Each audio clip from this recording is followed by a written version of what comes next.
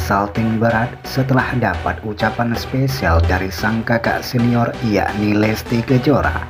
Ucapan tersebut berisikan kata semangat dan selamat karena telah mengharumkan musik dangdut dan membanggakan Indosiar di kancah internasional, tepatnya di negara beruang merah, Moskow, Rusia.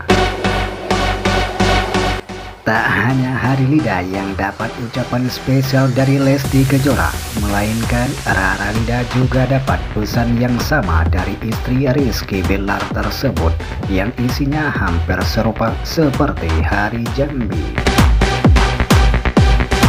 Dalam pesan tersebut, Lesti Kejora juga berpesan pada keduanya dan juga rombongan yang ikut ke sana untuk selalu menjaga kesehatan Biduan cantik dari Cianjur itu juga mendoakan semoga mereka selamat sampai pulang ke tanah air nanti dan apa pun acara yang mereka hadiri di sana bisa berjalan lancar seperti yang diharapkan. Seperti yang diketahui, beberapa penyanyi terbaik jebolan dangdut Indosiar melenggang go internasional, tepatnya di salah satu kota megah di ibu kota Rusia. Keberadaan mereka di sana juga untuk memenuhi undangan KBRI untuk manggung di Moskow.